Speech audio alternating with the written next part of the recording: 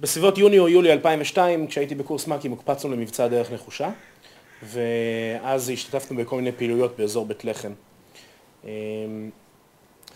ובעיקר עשינו פטרול מסביב מחנה הפליטים דהיישה שבתוך בית לחם. אחד מהימים פשוט יצאנו לפטרול, זה היה כאילו פטרול רכוב, היינו שניים שלושה נגמשים וטנק או שני טנקים, אני לא זוכר כמה בדיוק, ופשוט נסענו בדרך ככה, מבזבזים את השמונה שעות שלנו, של המשמרת, מעבירים את הזמן. פתאום אני קולט שהקשר מ"מ, שהוא הבן אדם שאחראי על לירות גומי, מתחיל לפרק את הכדורי גומי. כדורי גומי, בדרך כלל, כדור גומי זה בעצם כדור מתכתי שמצופה בגומי, הוא ממש שטוח משני הצדדים, ככה הוא גם לא כל כך חודר, לא חדיר, אין לו יכולת חדירה, והוא מגיע עם, בדרך כלל גומי, אנחנו קוראים לזה בצבא טמפון. זה כאילו מגיע שלושה ארבעה כדורים ביחד עטופים בניילון. כך שאם אתה יורה שלושה ארבעה ביחד, אתה משתמש ב-X כוח, באותו כדור, באותו חסר קליע, כדור בלי קליע, שרק, אתה רק, רק שורף אבקת שרפה לייצר את העדף, אתה יורה שלושה או ארבעה ביחד, אז א', זה מתפזר, הניילון נקרע והכדורים מתפזרים, אז זה לא מדויק, וגם זה לא קטלני כי יש הרבה פחות כוח בכדור הזה. ברגע שמפרידים, אז זה ממש הופך להיות מדויק כמו כדור חי, והוא מאוד מאוד מסוכן.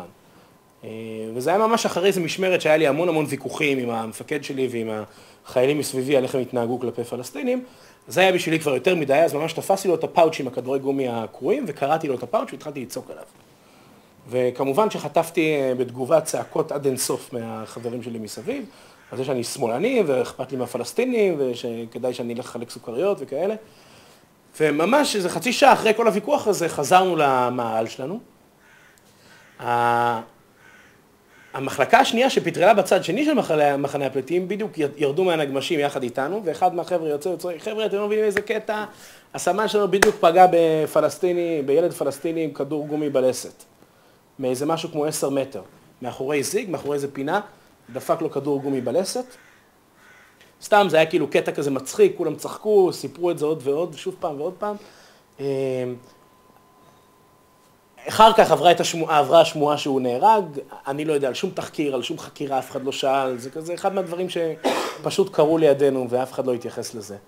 יותר מאוחר האמת, אחרי השחרור שלי גם הסתכלתי ברשימות של בצלם ויש תיאור מאוד מאוד מתאים על נער פלסטיני שנהרג מכדור גומי באותו, באותם שבועיים באותו מקום, אז אני מניח שהוא נהרג.